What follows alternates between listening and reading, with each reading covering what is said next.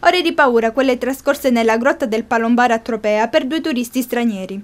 I bagnanti si erano avventurati nella cavità della rupe sulla quale sorge il santuario di Santa Maria dell'Isola, per poi rimanere bloccati a causa delle mareggiate. Spettacolare l'intervento dei soccorritori. Per il recupero della coppia, infatti, si è reso necessario l'appoggio di un elicottero della Guardia Costiera partito da Catania mentre mezzi navali e diverse squadre dei vigili del fuoco operavano a supporto. Un'operazione complessa, resa tale dalle condizioni meteo marine proibitive. Il personale del gruppo Speleo Alpino Fluviale dei Vigili del Fuoco di Vibo Valencia si è infatti calato dal costone roccioso dalla sommità della rupe per oltre 40 metri.